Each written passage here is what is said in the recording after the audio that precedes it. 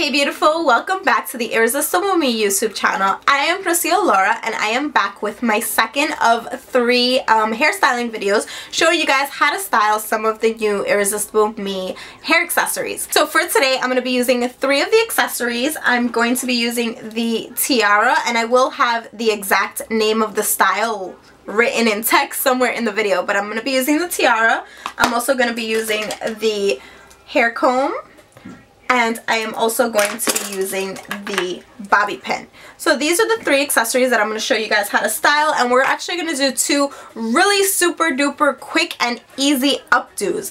Updos used to scare me and intimidate me but then I realized how simple it can be to just throw it up and make it look really nice and professional. So I'm going to show you guys two of my go-to updos and I think they're awesome for the holiday season if you want something up and out of your face, a little bit more elegant. Um, this is definitely the the way to go and once you see how easy they are to do you are gonna be like oh my god I can totally do that. So speaking of the holiday season I also wanted to mention that Irresistible Me is gonna have a whole bunch of Black Friday and Cyber Monday and holiday season discounts and specials going on. I did mention them in detail in the first video so I'll just pop them in in text in this video. So if you guys need to remember what the details and what the discounts are then you have that information. Alright guys so without further ado I'm going to go ahead and jump into the two hair hairstyles for this video. Don't forget to check out the first video for three hairstyles using three different accessories and also come over to my channel and stop by, say hi, and subscribe if you guys would like.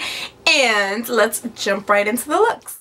I'm starting all the looks with my hair blow dried but the ends are curled and for the first updo I'm just going to go ahead and figure out where I want my side part and part my hair. Then I'm going to take the tiara and just place it in place just to kind of get an idea of where it's going to go. Then you can go ahead and take the tiara off for now and just grab the top half of your hair and kind of clip it out of the way at the top of your head.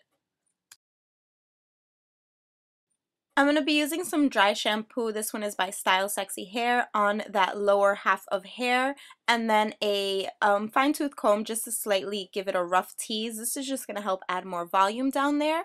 Once it's all kind of teased up, and I'm teasing all throughout, not just by the root, but I'm concentrating by the root, then I'm going to grab two of my two clip wefts um, extensions to add more volume and I'm going to be clipping these on top of each other and then clipping it onto my hair. These are the 24 inch um, Silky Touch by Irresistible Me and they are in chocolate brown I believe and um, they're just going to help add more volume to my hair and then I'm going to grab an elastic and just like create a ponytail with all the extensions and that bottom section of my hair all together.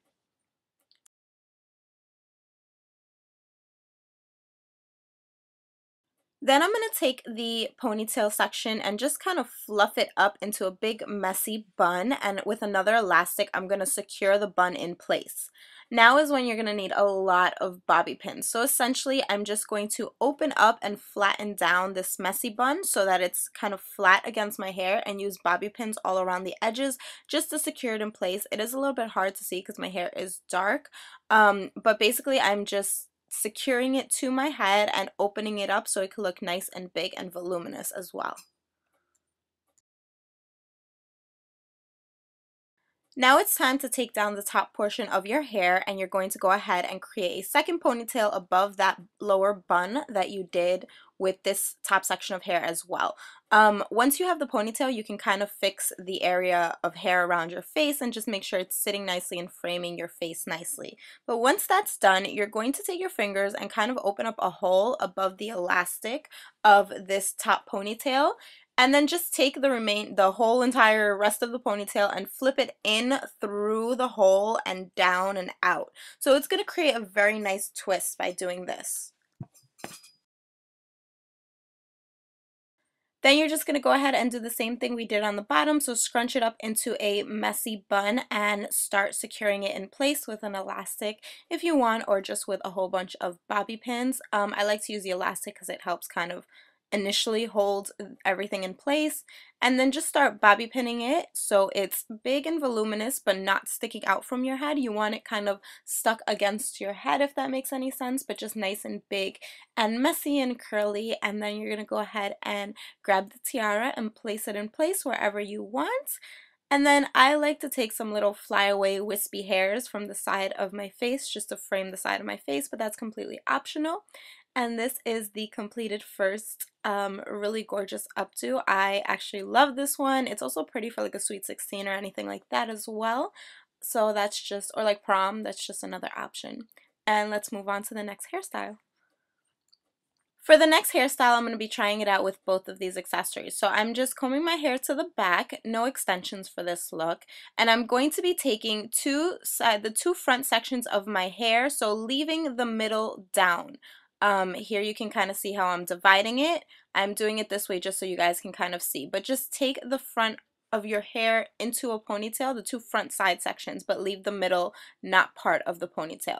Then once you have that secured with an elastic, you're going to take another elastic and create a second ponytail, including the first one and the entire rest of your hair a little bit down.